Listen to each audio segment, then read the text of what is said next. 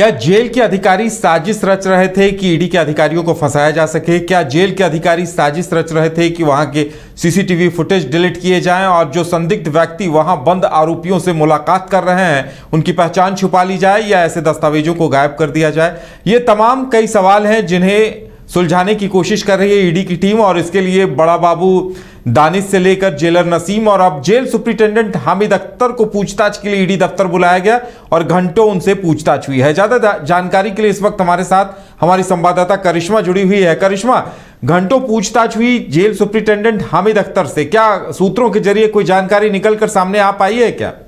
जी, उदय, जिस तरीके से होटवार जेल के अंदर ईडी के अधिकारियों के खिलाफ जिस तरीके से साजिश रची जा रही थी, इसको लेकर ईडी की ओर से जेल के तीन अधिकारियों को समन जारी किया जाता है और तीनों अधिकारियों को एक एक दिन में ईडी कार्यालय बुलाया जाता है। देखिए, सात अक्टूबर को जिस तरीके से बड़ा बाबू को ईडी दफ्तर में बुलाया गया था, घंटों पूछताछ हुई और उसी के आधार पर जेलर से भी तमाम सवाल यहाँ पर पूछे गए। लेकिन आज का दिन इसलिए भी खास था उदय, क्योंकि आज जेल अधीक्षक को ईडी कार्यालय बुलाया गया था और ये कहा भी जा रहा था और सूत्रों के हवाले से ये जानकारी भी प्राप्त हो रही है कि तमाम जो सवाल है, वो यहाँ पर पूछे गए हैं जेल अधीक्षक से और तमाम जानकारियाँ उनसे इकट्ठा करने की भी कोशिश की जा रही है कि आखिर सीसीटीवी फुटेज कैसे डिलीट हुए, साथ ही साथ किस तरीके से तमाम जो आरोपी जो जेल के अंदर बंद है, उन्हें किस तरीके से फ़ोन जो है उपलब्ध कराया गया था, तमाम जानकारियाँ यहाँ पर ली जा रही है। लेकिन हम अपने दर्शकों को उदय यहाँ पर तमाम फ्लैशबैक में लेकर चलते हैं और उन्हें ये भी बताते हैं कि आखिर ईडी की दबिश झारखंड राज्य में कैसे देखने को मिली। डेढ़ साल पहले मनरेगा घोटाले से पूरा जाँच का जो दायरा है वो शुरू हुआ था। उसमें आई पूजा सिंघल को बुलाया गया था ईडी कार्यालय। उसके बाद खनन घोटाला में कई लोगों को बुलाया गया था। खुद मुख्यमंत्री हेमंत सोरेन को बुलाया गया था। और अब ज़मीन घोटाले मामले में आपने देखा होगा उदय की कई लोगों को बुलाया गया और कई लोग गिरफ़्तार भी हुए। इस बीच ये भी खबरें सामने आई कि मुख्यमंत्री हेमंत सोरेन को भी ईडी की ओर से समन जारी किया गया था। पांचवा समन ईडी की ओर से जारी किया गया और इस बीच मुख्यमंत्री हेमंत सोरेन ईडी कार्यालय नहीं गए।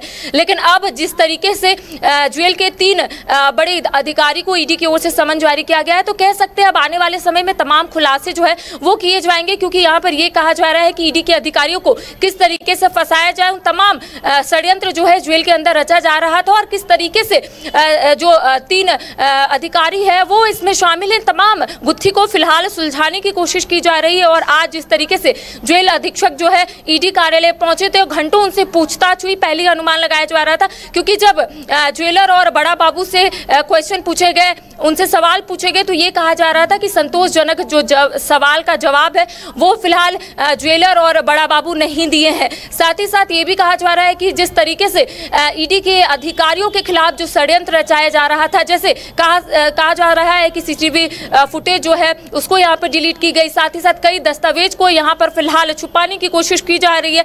और ये भी कहा जा रहा है कि महिलाओं को यहाँ पर शामिल किया जा रहा है कि किस तरीके से ईडी के अधिकारियों को फंसाया जाए। हालाँकि तमाम जो सवाल है फ़िलहाल सवाल ही है उदय क्योंकि आने वाले समय में तमाम जो खुलासे हैं वो होंगे और एक एक करके तमाम चीज़ें जो है वो सामने आएगी। करिश्मा लगातार तीन दिनों तक पूछताछ हुई है। अब लगता है ईडी भी अपने तरफ़ से स्पष्ट करेगी और अगर ईडी इतनी बड़ी कार्रवाई कर रही है पूछताछ के लिए समन जारी किया है तो ईडी के पास भी कुछ पुख्ता प्रमाण पुख्ता सबूत होंगे और जेल में छापे के दौरान भी कई अहम सबूत मिले होंगे।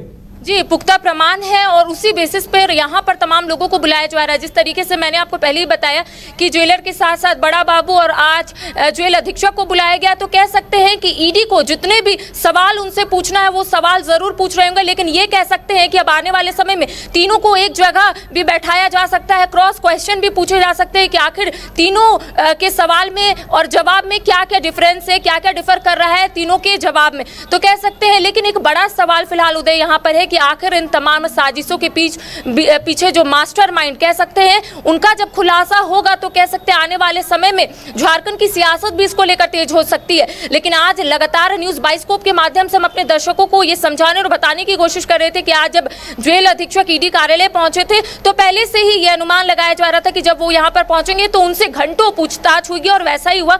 घंटों पूछताछ हुई है। अब धीरे धीरे चीज़ें जो है, वो आईने की तरह साफ़ होती जाएगी उदय की आखिर जेल अधीक्षक से क्या क्या सवाल किए गए? क्योंकि इससे पहले जब मैंने आपको बताया कि बड़ा बाबू से जब ईडी के अधिकारी सवाल पूछ रहे थे, तब संतोषजनक जवाब नहीं मिल पा रहा था।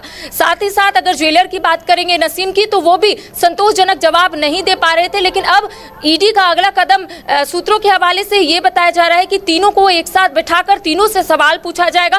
क्रॉस वेरिफिकेशन यहाँ पर की जाएगी और ये भी जानने और समझने की कोशिश ईडी के अधिकारी करेंगे कि आखिर इसके पीछे जो मास्टरमाइंड है, वो कौन है? क्योंकि प्रेम प्रकाश के हाथ अगर फ़ोन मिला है जेल के अंदर तो कैसे मिला? और अन्य आरोपी के पास जो फ़ोन उपलब्ध हुआ, वो कैसे हुआ? आखिर इसके पीछे कौन है? आखिर किसके दबाव में जेल प्रशासन जो है, वो काम कर रहा है? तो तमाम चीज़ें जो है, आने वाले समय में स्पष्ट हो जाएगी, और ये भी कहना गलत नहीं होगा कि जब आने वाले समय में चीज़ें स्पष्ट होगी तो धीरे धीरे ये कह सकते हैं कि जो मास्टर माइंड है, यानी कि जो ये साजिश रच रहे हैं, उसके पीछे जो मास्टर माइंड है, वो जब सामने आएगा तो ईडी के अधिकारियों की ओर से अगला जो स्टेप है वो क्या हो सकता है? तो चलिए तो करिश्मा हमारे साथ जुड़ने के लिए और तमाम जानकारी देने के लिए आपका बहुत बहुत धन्यवाद। तो बताया जा रहा है कि ईडी पुख्ता सबूतों प्रमाणों के साथ आगे बढ़ रही है और जल्द ही इस पूरे प्रकरण का खुलासा होगा कि आखिर वो कौन लोग थे जिनके इशारे पे इस तरह की साजिश रची जा रही थी।